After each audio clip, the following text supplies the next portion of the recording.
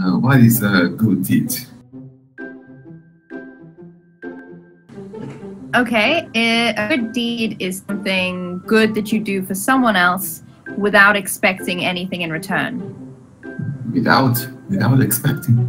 without getting something back. So you know you're going to do something out of the goodness of your heart.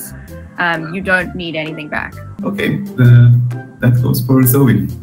What good do you ever do, no matter how much it might improve the life of someone random stranger? Like what? What wouldn't you do? What's something good that like you just would not do? I don't know. If some if someone's homeless, you're not gonna buy them like a wardrobe full of clothes. I mean, it's a good deed, but then you know they would much prefer the money for food or for shelter or you know as opposed to like a wardrobe full of clothes. Um, I don't know. That's such an odd question. I will drink.